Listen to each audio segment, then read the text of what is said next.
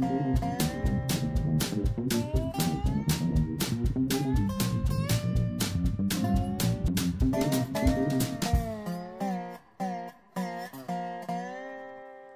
amigos del whisky, hoy nos centramos en las islas de Escocia. Como ya habéis ido viendo en el resto de vídeos, estamos hablando de las regiones de Escocia.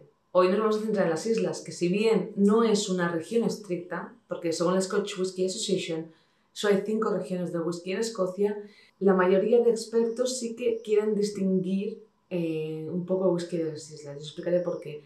Cuando hablamos de islas de Escocia, solemos hablar de las islas del norte y del este de Escocia. Todas menos Isla, porque Isla es una región en sí misma y de ella hablaremos otro día.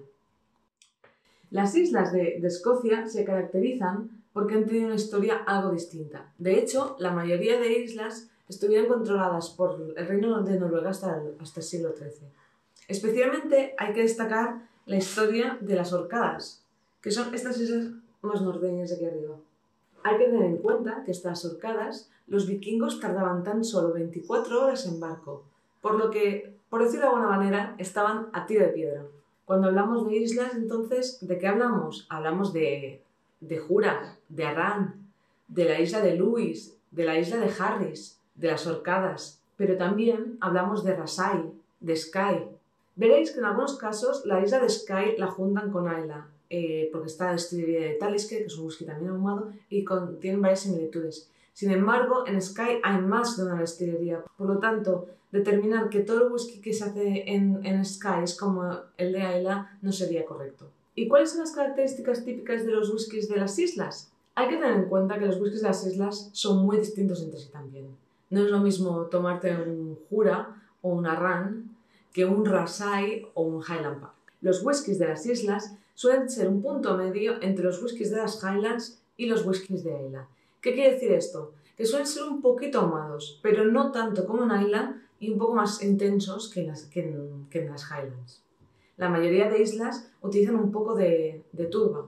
¿Por qué? Porque hay que tener en cuenta que hasta hace relativamente poco las comunicaciones eran más difíciles y para calentar lo único que tenían era turba.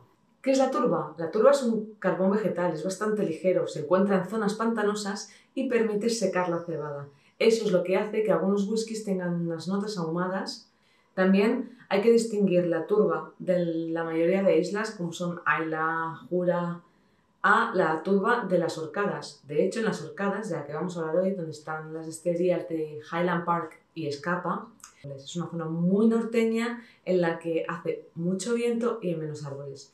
¿Eso qué va a hacer? Eso hace que la turba tenga menos notas de madera. Por lo tanto, el whisky será un poquito más dulce, más herbáceo y no un ahumado tan medicinal como sucede a veces en, los whiskies de Ayla, porque al no haber la madera en la turba, eso nos permite que sea más ligero.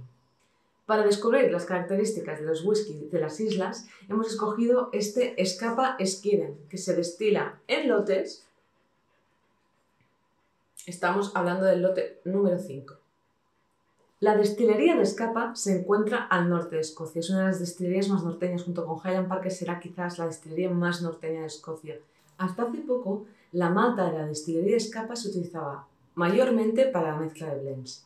Desde 2005, la destilería pertenece al grupo Pernod Ricard, que es el padre de algunos whiskies como Chivas o Valentine's. Es por eso que algunas de las maltas de Escapa se destinan a estos blends. Una de las curiosidades de la destilería de Escapa es que posee uno de los dos únicos alambiques Lomond que están activos todavía en Escocia.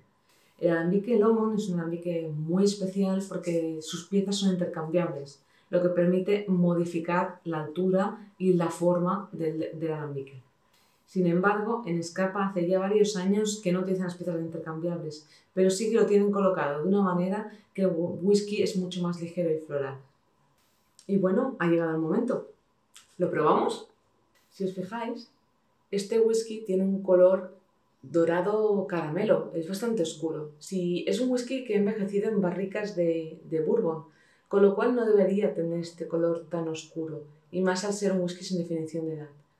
Eh, la realidad es que este whisky tiene colorante añadido, entonces lo que estáis viendo es el E150, que es el mismo colorante que tiene la, la Coca-Cola. La verdad es que la nariz, este es un whisky fantástico a mi parecer. Es un whisky muy afrutado, con notas de manzana verde, piña. Tiene también un punto dulce de miel, de vainilla. Y hasta un puntito de anís.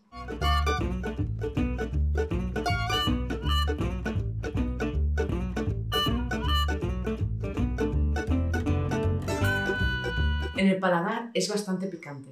Empieza con una explosión de, fruta, eh, pera, manzana, zumo de piña. Le siguen las notas dulces de miel y vainilla.